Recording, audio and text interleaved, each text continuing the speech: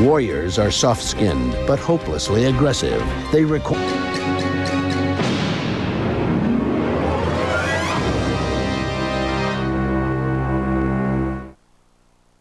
Hello, I'm Roger Mudd. Welcome to the History Channel. 500 years ago, the Holy Roman Emperor Maximilian I bought a suit of armor at a cost of 26 cows. That's the equivalent of about $350,000 in today's money. More recently, an American collector paid $3 million for a suit of armor made for King Henry II. Our program is the story of the armor worn by medieval knights in Europe and samurai warriors in Japan. The artisans who created the armor had to undergo long apprenticeships and pass tough exams before earning the title of master. Their products were the only thing separating a soldier from the slings and arrows of his enemies. Join us now as the History Channel presents Arms in Action, Mail and Plate Armor.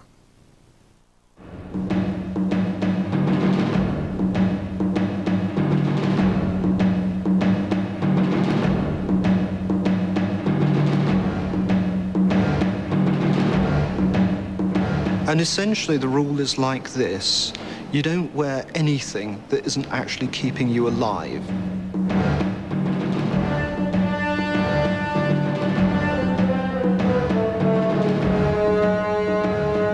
I'm actually very in awe of ancient technology and what people could achieve. It's such a clever, simple design.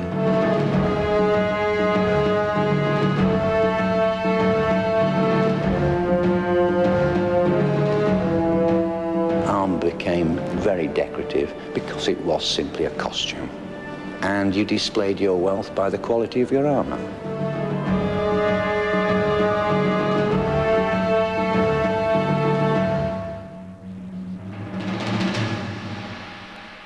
The Royal Armouries has moved most of its famous collection from the Tower of London to a specially built museum in Leeds in the north of England. The new museum displays one of the greatest collections of arms and armour in the world. The master of the Royal Armouries is Guy Wilson. You and I are soft-skinned animals. Our ancestors, whether hunting dangerous prey or fighting amongst themselves, learnt early on that it was a good idea to have some sort of protection over their bodies. The furs and skins of animals, as well as providing warmth, also gave a good deal of protection against claw, tooth and weapon. But when tribal conflict turned into organized warfare, even greater protection was required. The age of armor had dawned. And ever since then, the armorer has been trying to do the impossible, to provide an effective defense against a variety of deadly weapons, and to make that protection light and flexible enough to allow the man within to move, fight, and if necessary, run away. There have been many answers to the problem. Metal armor, whether made of solid plates or interlinking rings of wire, has been one of the most long-lasting of them. But why have mail and plate proved so effective and so enduring? The popular view of a Middle Ages battlefield is that everyone wore plenty of exquisite plate and mail body armor. Survival was all about full metal protection, and plenty of it. At the Royal Armouries Museum, Tom Richardson, Keeper of Armour, explains how armour works. There are essentially two strategies in armour. You either deflect things, such as swords, spears, arrows, crossbow bolts, bullets, or you absorb their impact. These medieval knights are richly and expensively covered with the finest metal protection. It is powerful images like these that have driven our romantic view of how men went to battle in the Middle Ages. In fact, the magnificent mail and plate these noble knights are wearing was only for the privileged few. Like so many other myths in history, their fine armor is only part of the story. Most ordinary soldiers went onto the medieval battlefield with very little to protect them. A few may have worn something on their heads, or had a simple mail garment perhaps inherited or possibly small pieces of plate armor looted from a battlefield. Most of them had no defences whatsoever. A fair proportion had fabric defences, garments called jacks, that is to say, quilted doublets. These garments are so fragile and, of course, almost valueless at the time, and so they simply haven't survived. In addition to the quilted defence that was being worn in the 15th century, these garments have little squares of iron fitted into the quilting, so they're not visible in a complete garment in good condition. But looking at this example, which looks as if it's almost completely destroyed, you can see the construction, that the plates are clearly visible, the cords holding the plates into the quilting are clearly visible. From looking at these rare surviving jacks, it is difficult to assess how useful they were on the battlefield.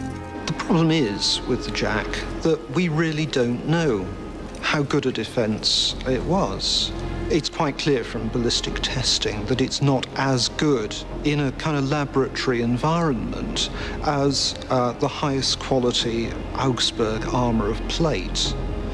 But in general, it was probably quite useful for keeping not particularly fierce blows or particularly powerful missiles from injuring the troops wearing them.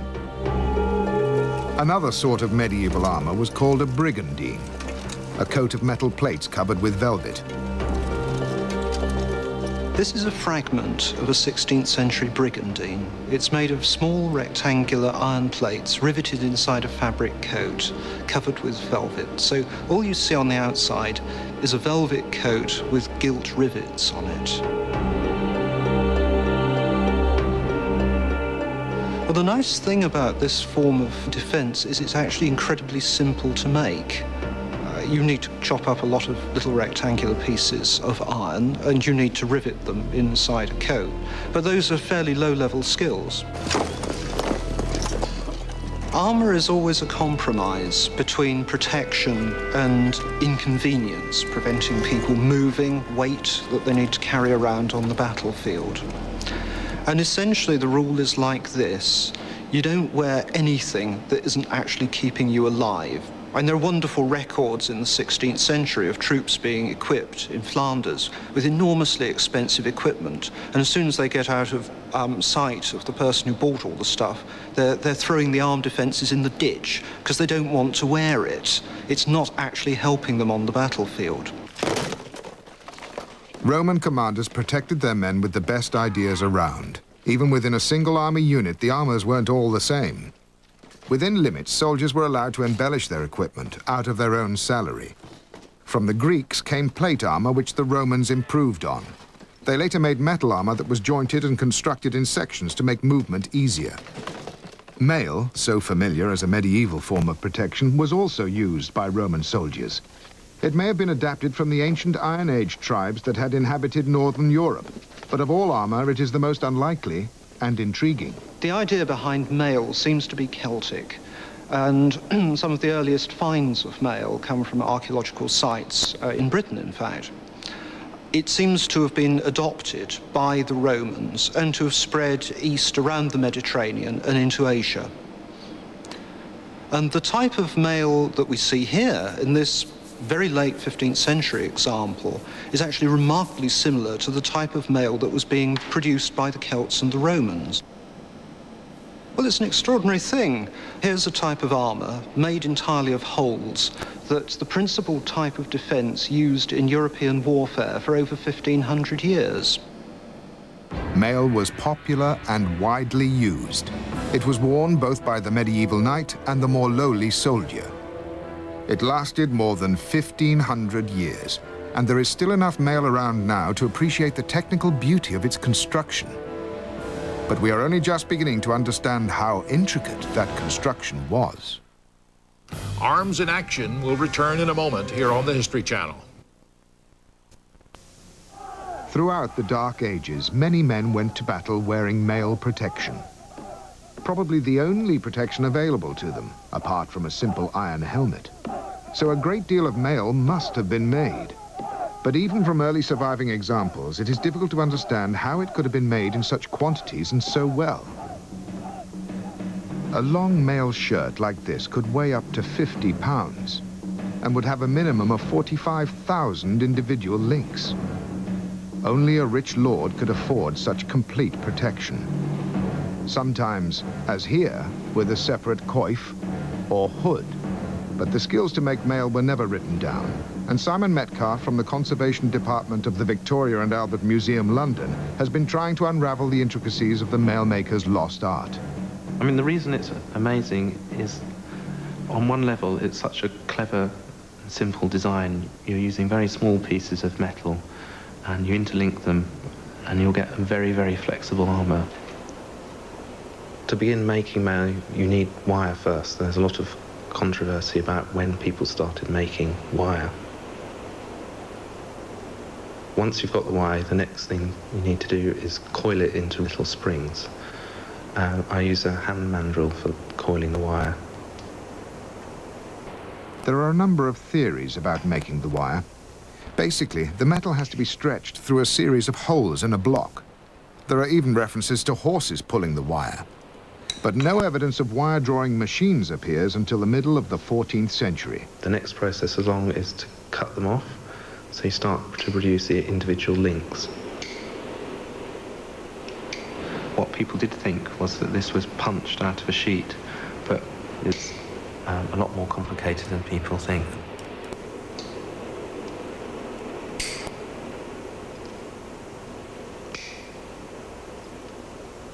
The next step is to overlap each link Working at this rate, Simon Metcalf estimates that it would take something like 750 hours for one person to complete a mail shirt. With so many stages involved, we have to assume that one person was responsible for each stage of the mail-making process. Perhaps this is, the, this is the earliest form of mass production, because there are stories of whole towns employed in making mail. The next stage in this complex procedure is to heat up the individual rings you have to soften the rings between each process. Otherwise, it makes the operation of punching and riveting much more difficult and more liable to go wrong. Simon Metcalf has spent many years understanding how mail must have been made. There are some illustrations, but no detailed records for him to refer to. You need to uh, widen the area which is overlapped so you can make enough room to punch a hole through it because all the mail is riveted up at the end. So you've made the overlapped area wider by squashing it between a pair of pliers. The next thing you need to do is punch the hole and use a small punch to do that. It's called drifting. It's a technical term for it. With all this research, Simon has learned a little about the skills of the people who made mail. I'm actually very in awe of ancient technology and what people could achieve the slow, careful process of accurately piercing each separate iron ring continues until there are enough to begin the long, slow process of assembling the mail into a recognizable garment. Once you've got the link with a hole in it, you can then start constructing the shirt. The mail does vary in size, and some of it's incredibly small. And obviously, um, this makes the rivets very, very small. They're, they're say, two millimeters wide at the top. It makes the whole process quite, well, extremely fiddly, to be honest.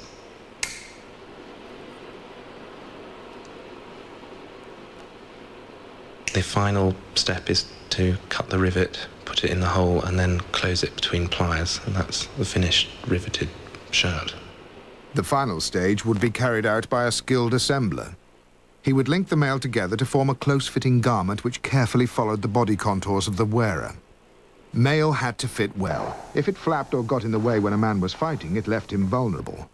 If it fitted well, it provided some protection against the main weapons of the day, the spear, sword, the axe, and the longbow and crossbow arrow. And the skill of the mail maker extended beyond the making of mail shirts to the manufacture of mail helmets and mail protection for arms and legs. If you're making an armour out of plates, it's incredibly difficult to cover areas like the armpits, which move around a lot. And so, really, what they're making is a flexible metal cloth, and that's the brilliant thing about it. Mail was a popular protection for over 1,500 years, but it had one flaw. Mail was actually useless uh, on its own. You've got to wear something underneath it for it to take effect. Usually an arming jacket was worn, and as these unique tests show, Against a longbow arrow, it offers some protection on its own. But this is not an entirely true test, as the dummy behind it does not respond quite like a human body. But when the mail was worn over an arming jacket, the wearer's chances improved, and in some cases the arrow would bounce off. But an arrow with the right head could pierce the mail and the arming jacket beneath, causing a serious injury. Uh, there are wonderful records of Spaniards uh, in the conquest of the New World um, poking fun at the uh, locals' obsidian-tipped arrows. So they said, well, they're not bad. They're, they're, very good weapons, we find, anyway. And so they hung up some mail shirts on their own, and they were able to shoot um, obsidian-tipped arrows straight through them. Now, if they were padded and on a human body, that simply wouldn't occur. Um, mail has to be worn with some kind of padding, usually a quilted defence underneath. Mail was probably never effective enough to protect against a savage bone-crushing sword blow. In fact, it was always at its best when used with other armor. Mail and plate armor combined together in one of the last remaining armors of its kind in the world. In the late 16th century, 350 pounds of armor was constructed to cover one Indian elephant. Seen by the commanders of the ancient world as heavyweight shock troops, these powerful beasts could trample tightly packed foot soldiers to death and halt a cavalry charge with their tusks and trunks. Most horses were terrified by the smell of elephants, who could toss a rider and a nervous horse into the air. But although in some countries these beasts were fashionable for many centuries, no self-respecting commander would go into battle without them, they had problems on the battlefield. Expectations that their weight and strength could destroy fortified enemy positions were often unfounded. The elephant was easily halted by placing spikes on the ground because it has very sensitive feet, and it didn't take much skill to knock the driver from his perch behind the elephant's head. However, early descriptions of armored elephant battling against elephant, the tusks goring into exposed flesh, give some idea of the battlefield sound of 200 elephants fighting each other. This magnificent example of Indian mail and plate armor shows how skilled armorers were in devising protection even for this beast, the world's most unlikely fighting animal. For the Wall Street Journal. The History Channel now returns to Arms in Action. This extraordinary decorated and colorful armor, uniquely developed in Japan, was primarily designed to absorb the impact not of the feared Japanese sword, but of arrows.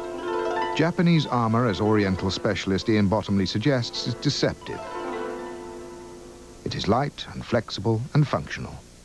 Japanese armor looks rather decorative, but in practice, it's designed to give freedom of movement.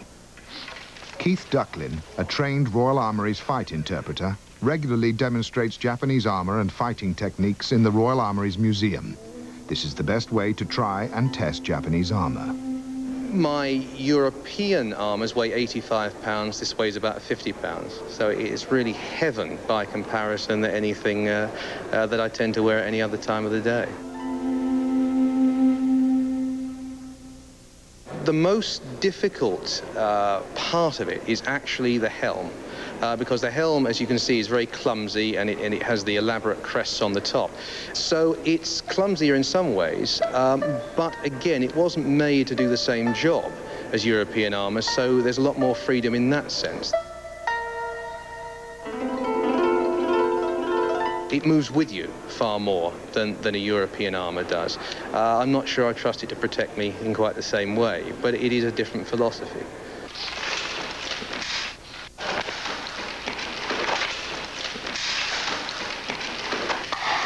Like all Asiatic armours, it is in fact made of lamella, of iron and rawhide, laced together with silk braid. And together this combination absorbs the energy of an impact or a cut before actually penetration can take place. While mail was worn in Europe, lamellar armor, small plates of metal bound together, were the main defense not only in Japan, but across the whole of Asia for over a thousand years. Small pieces of overlapping metal or leather plates are laced together with fine leather thongs to give the horseman a flexible defense against the main Asian weapon of the time, the composite bow. Layers of silk were worn under the armor to add further protection. This kind of defense has kind of internal springs, so that anything that hits it doesn't exactly bounce off, but the kinetic energy of the impact is absorbed by all these springy materials. Armour's always designed for a particular purpose. This type of armour is designed for wear on a horse against the threat of archery. And of course the principal weapon throughout Asia for most of that period was the, the composite bow. The Mongolian horse archer was covered in a coat of flexible lamellar armor which extends to cover the back of the horse. As with all armor, it's a matter of what's most useful on the day at the time against the weapons which are around on the battlefield. This Asian lamellar armor was the main influence in the evolution of Japanese armor. Japanese culture is unique in the way it has revered and preserved arms and armor. There are deep and binding traditions, particularly those connected with the renowned samurai warrior and his distinctive armor. When you are dressing in Japanese armour, it's normal, as in European armour, to start from the feet first and work your way up to the helmet. But in conditions of war or in an emergency, there are methods of getting into the armour very quickly one of the simplest being to hang it up by a rope and dive up from underneath it and emerging through the armour holes. It's probably effective as solid plate armour, but in a totally different kind of way. In, it resembles, in fact, some of the modern lamellar armours used in things like bulletproof vests and for armour on tanks. Like his European counterpart, the samurai warrior placed great importance on what was worn under his armor. Soft materials were worn next to the skin to increase the armor's ability to absorb cuts and blows. If the samurai warrior was very wealthy, he would wear full, sumptuous court dress under his armor as a mark of his rank and social position. But not all samurai were wealthy. Many used whatever material was at hand, wearing several tightly wrapped layers of a cheap and practical material such as hemp under their armor. During Japan's early history, armor was very much the prerogative of the rich, although their retainers wore a very simpler kind of armor. But during the 16th century, during the prolonged and very vicious civil wars, all classes of fighting men wore armor, from the very rich to the very poorest peasants who were recruited as matchlock men. By the late 16th century, Japanese warfare shared many similarities with Western battle practice. They used matchlock guns, their famous swords, and had cavalry and artillery, and wore mail and plate. During the long Age of War, which was a series of violent internal feuds, the country had been torn apart by bitter and violent warring factions. When the violence subsided, Japan enjoyed a period of peace and seclusion from the outside world for 250 years. But despite these peaceful times, owning impressive armor was still an essential status symbol. During the later period of peace, which continued until the 1850s, 1860s, um, once again armor became very decorative because it was simply a costume and you displayed your wealth by the quality of your armor. The Japanese samurai warrior, though exalted, was rarely rich enough to buy his own complete set of armor. So he collected it, piece by piece, over his lifetime. As each piece was purchased, it would be carefully decorated and lacquered. The samurai wanted to be noticed on the battlefield. The more extravagant the colors, the more individual the design, the more the samurai warrior stood out. Japanese armor was originally devised for use by mounted horsemen, and such features as the large shoulder guards, which replaced shields, are one of its characteristic features. The Japanese helmet is also sumptuously and exotically decorated. But like the armor, it is also designed for a practical protective purpose. Although the helmet and mask look rather grotesque to us, one of the main functions of the mask was to simply act as an attachment point for the helmet cords, which if you tied it under your chin tended to loosen, but if you tie it onto the mask, it allows you to tie it very tightly to your face.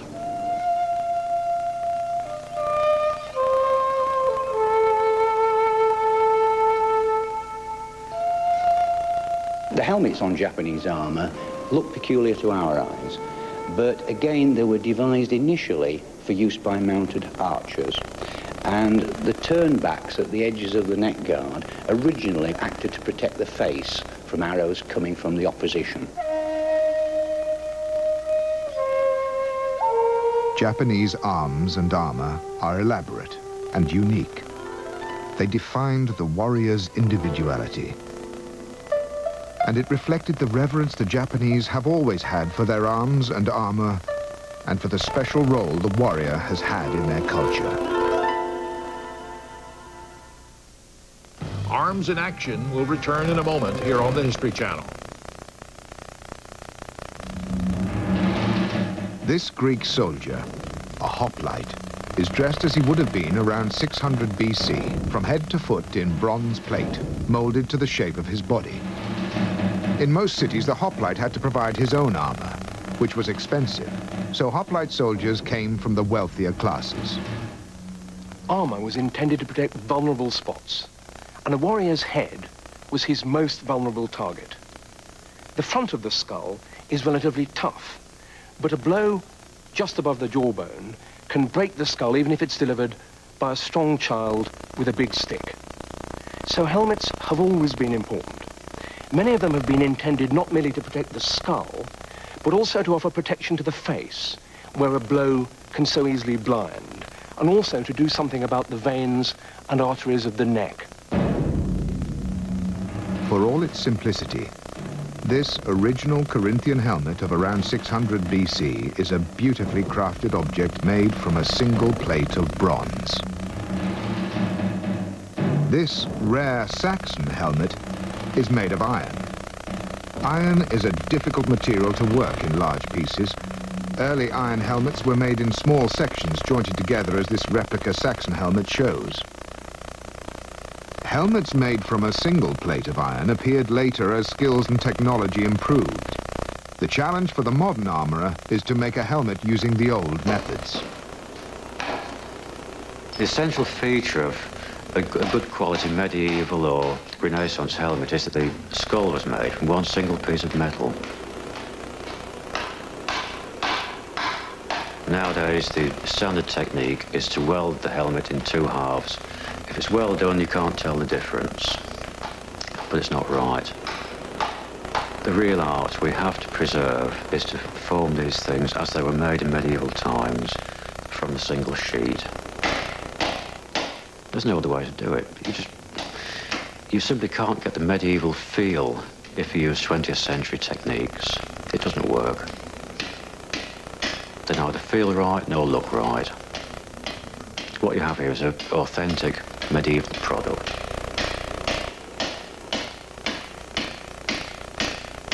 The medieval craftsmen were very extremely clever, skilled people. If they had written down what they knew, then life would be a lot simpler nowadays, but they didn't. It was a, a fairly closely guarded secret.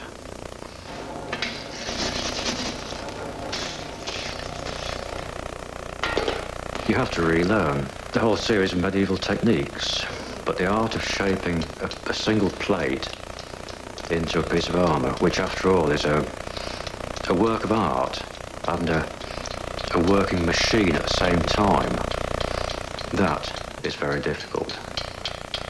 You just have to work it out for yourself. The area around the face, at the front of the helmet, is marked with chalk before it is cut out to give the helmet its intended shape. The whole process will take about three working days to complete. This type of helmet, the sallet, was common in Europe in the 15th century. Inside was a padded fabric lining to absorb the blows, like the inside of a modern crash helmet. This helmet, also a sallet, is a considerable improvement. with a visor to see through so more of the face and the neck is protected. But more importantly, the most vulnerable part of the body, the skull. Remarkable forensic research has uncovered the horrifying story behind Britain's bloodiest battle fought in 1461. The researchers, using the latest sound probing technology, have discovered the bodies of some of the many men who are said to have died in the Battle of Towton, fought on this misty landscape. The battlefield at Towton dates from the War of the Roses, which is a 15th century battle. It was fought on Palm Sunday in 1461, where apparently between 50,000 and 100,000 troops met on the hills surrounding us here and the engagement is supposed to have lasted between six and ten hours. In that time, there were supposed to be 28,000 people killed. Now, how accurate that is, is difficult to judge, but one thing we can assume is that there are a, a vast number of people buried in this landscape. Illustrations from the period show armies locked in combat. There are walls of dead bodies piled high. Carnage like this had never been seen before on an English battlefield especially not when Englishman was fighting Englishmen. The scientists use sound waves to find the bodies. The remains are then carefully exhumed. We're looking for mass graves which can hopefully tell us more about the battlefield itself. So far there is very limited evidence. There is historic documents from the period, but they are very limited in number and what they actually tell us about the battle is very limited as well.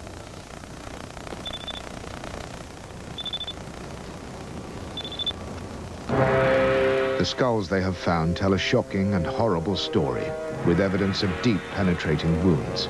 Project leader Anthea Boylston explains their significance. The most interesting find was the number of cranial injuries that the victims had sustained. We'd thought previously that soldiers wore helmets at this period, and so we were quite surprised that these ones obviously weren't wearing helmets.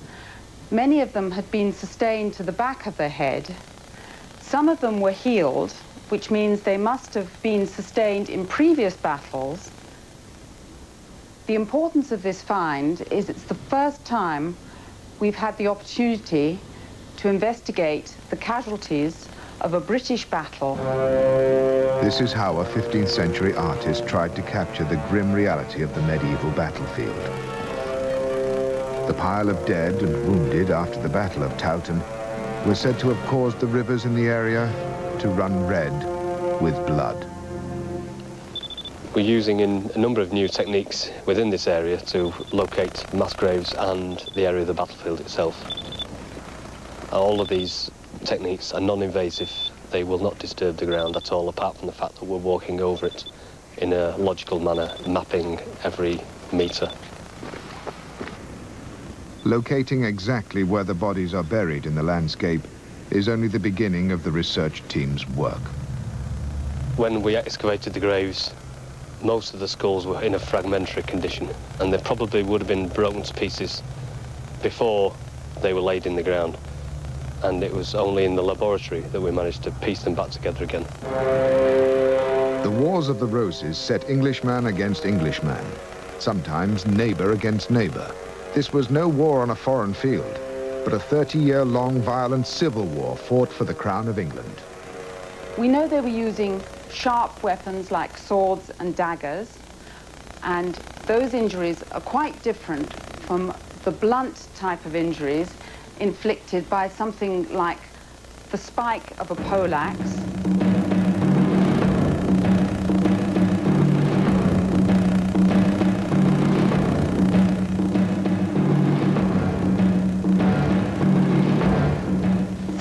been hit in the face, not only once, but on repeated occasions. And to stand opposite someone and inflict those kind of injuries suggests very brutal warfare, as opposed to the kind of chivalrous idea we've had in the past of knights with lances jousting in conflict. Not the age of chivalry we've been led to believe.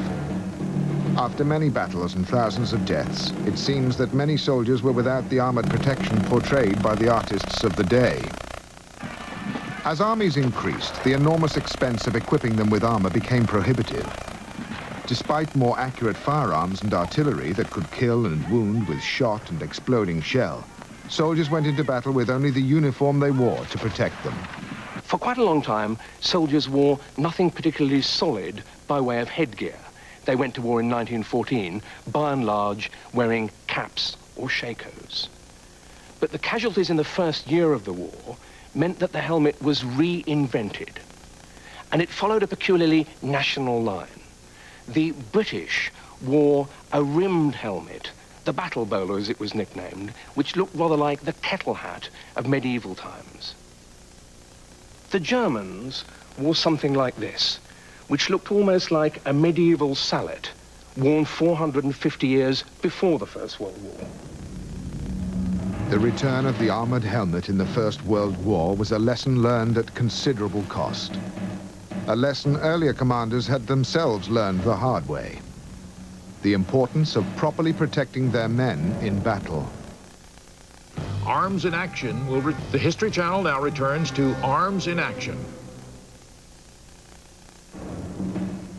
Medieval armor was all about achieving a balance between mobility and protection protection against the primary weapons of the day, the sword, the axe, the lance, and arrows.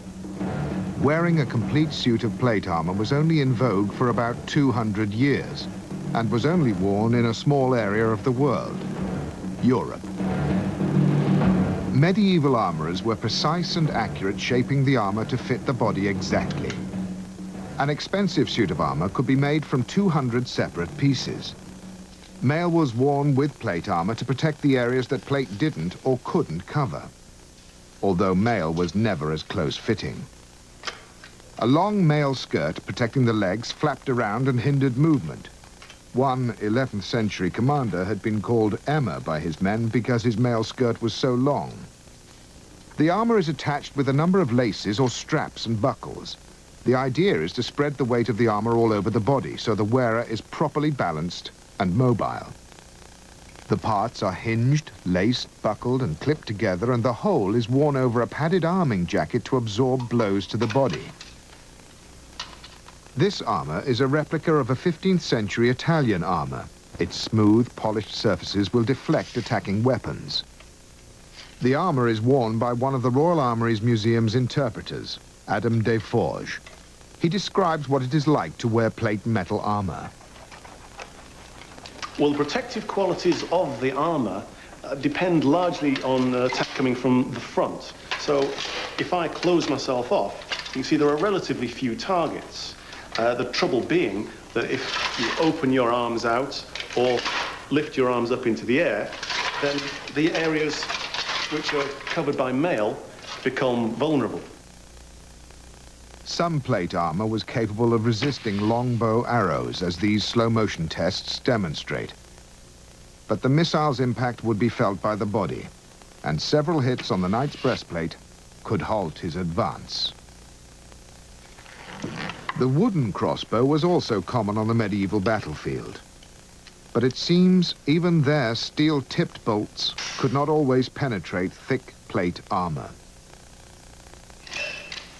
Another test with a much more powerful steel crossbow, which has to be spanned with a windlass, again showed, perhaps surprisingly, the resilience of plate armor.